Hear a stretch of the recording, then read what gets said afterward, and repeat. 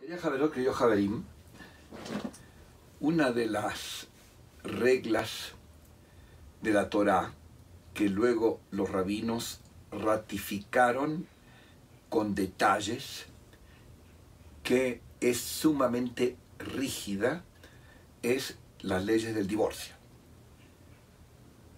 Básicamente el divorcio es sencillo con tal de que los dos estén interesados.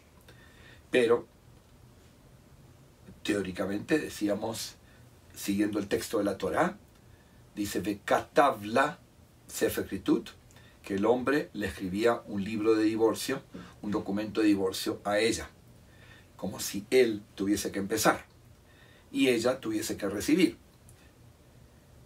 Y que si no lo escribe o si no lo dice, entonces no se puede hacer un get.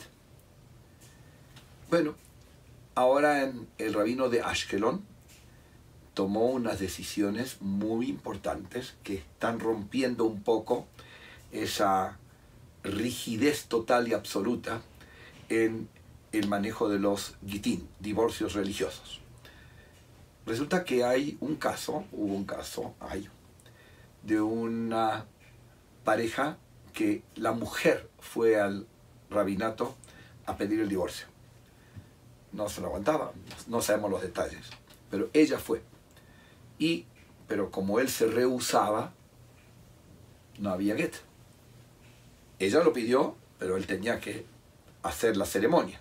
En la ceremonia el hombre dice, lo nombro a usted rabino para que usted haga el get por mí, nombro a los testigos, nombro al escriba.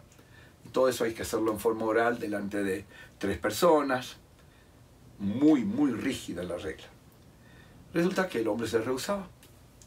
Rehusaba empezar, pero le dio un derrame cerebral y quedó sin habla. Quedó sin habla. Y ahí la familia intervino y lo convencieron, convencieron a él de que sí le dé el get. Pero hay un problema. No puede hablar. ¿Cómo se hace? Dice claramente, no en la Torá, pero en las leyes de Gitín rabínicas, que el hombre tiene que nombrar al rabino, tiene que nombrar a los testigos, eh, a quién se lo va a dar, etc. Entonces el rabino, como tenía, era mudo, ya no podía hablar, eh, se acercaron a él con las distintas opciones. Primero querían saber si estaba consciente y le preguntaban su nombre y entonces él no podía hablar, sino mostraba con el dedo donde la respuesta correcta y notaron, también le hicieron preguntas de, la ciudad donde vive, etcétera, para estar seguros de que estaba realmente consciente de lo que estaba haciendo. Y después le mostraban la frase, que teóricamente tenía que haberla dicho, pero mostrándola, aceptaron de que él estaba nombrando al rabino, nombrando eh, a los testigos, nombrando al escriba, etcétera. Eso era, eso fue realmente romper un poco eh, la rigidez.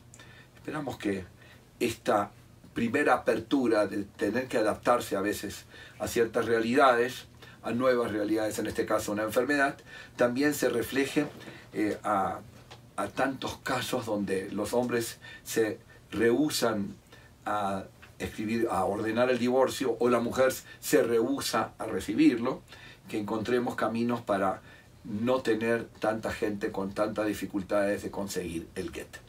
Nuevas imágenes de nuestra religión. Shabbat Shalom, Umeborach.